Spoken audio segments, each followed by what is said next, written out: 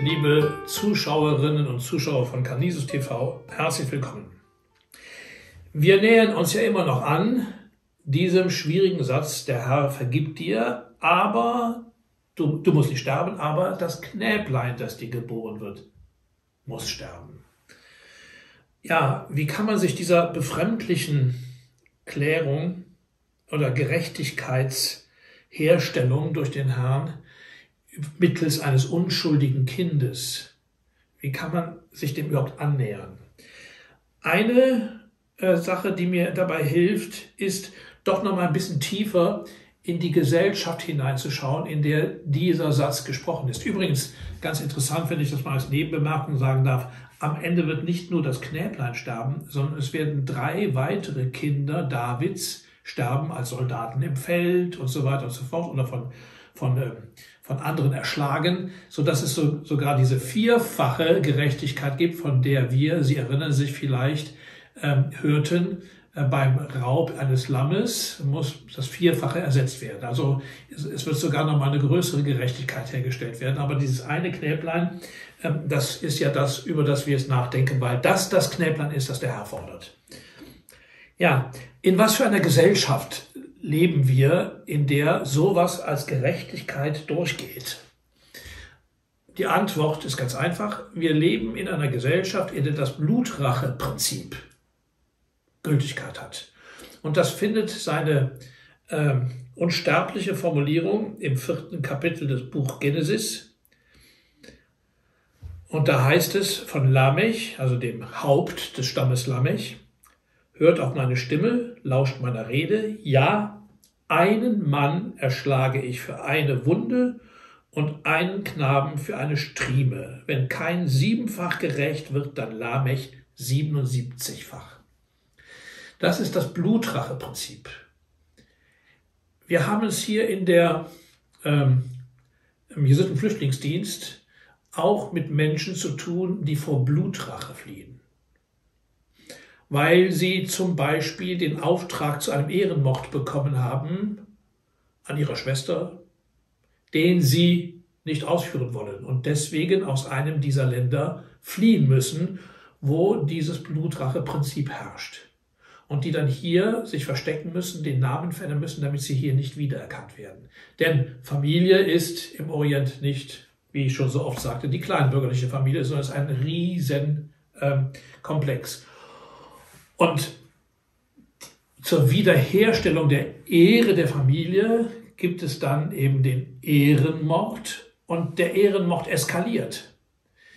Für den, ähm, für einen Vorgang, der kein Mord ist, muss jemand getötet werden.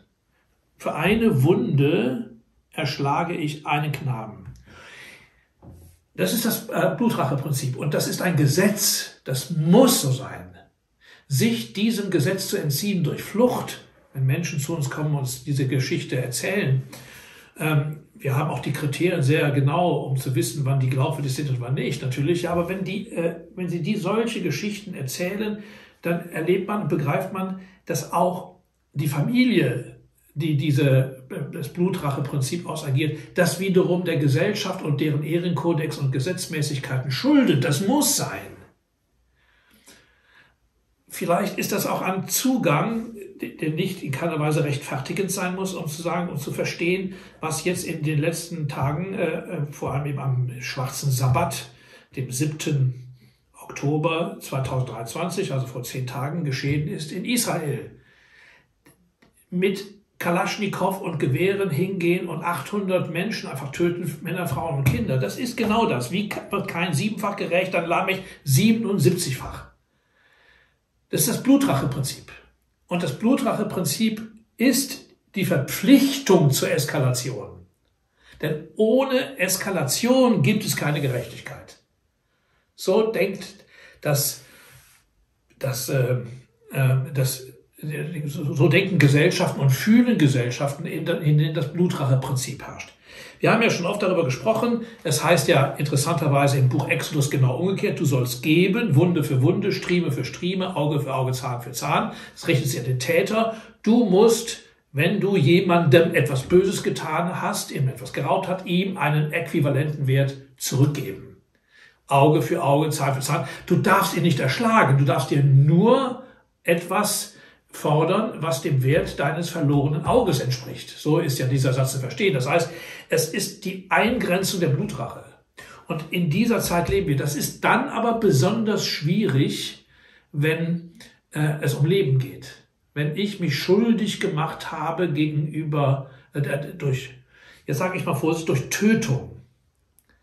Äh, schon der Exodus, das, das Bundesbuch unterscheidet zwischen Tötung und Mord. Bei Tötung gibt es dann Möglichkeiten, äh, äh, nicht Leben für Leben in der Weise zu fordern, dass derjenige, der getötet hat, fahrlässig zum Beispiel, weil er ähm, ein stößiges Rind hat über das Feld laufen lassen, dass dieses Kind des Nachbarn umgestoßen und äh, kaputt getrampelt hat, obwohl er wiss, wusste, dass es ein stößiges Rind ist, dass jetzt nun der Besitzer getötet werden muss. Das ist klar. Und dann sucht diese Kultur schon danach, wie kann man das anders machen über äh, andere Zahlungen, Ersatzzahlungen und so weiter und so fort. Beim Mord wird es aber ganz schwierig. Der Mord muss dann unterschieden werden von der Tötung. Das ist ja auch Grundlage auch unseres Rechtes bis heute. Nicht jede Tötung eines Menschen ist Mord. Dazu gehört die niedere Absicht etc. pp. Ja, vielleicht auch das nochmal, um sich näher hinzu, hinzubegeben, hin dieses Gefühl, hier muss eine Gerechtigkeit Einzug halten. Ja, ich lasse Sie auch mal mit diesem Gedanken und vielleicht auch nochmal mit ein bisschen mit äh, hinein sich spüren, wie furchtbar Gesellschaften sind, in denen das Blutracheprinzip herrscht. Und das zieht sich bekanntlich über Generationen. Ich wünsche Ihnen einen schönen Tag.